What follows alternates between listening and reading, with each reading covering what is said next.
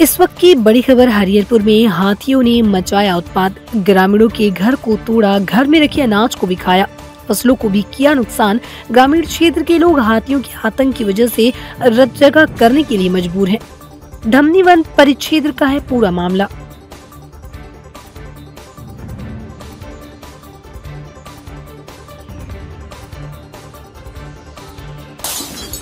इस वक्त की बड़ी खबर हरियरपुर में, हाथियों ने मचाया उत्पाद। ग्रामीणों के घर को तोड़ा, घर में रखे अनाज को भी खाया। फ़सलों को भी किया नुकसान। ग्रामीण क्षेत्र के लोग हाथियों के आतंक की वजह से रद्द जगह करने के लिए मजबूर हैं। धमनी वन परिक्षेत्र का है पूरा मामला।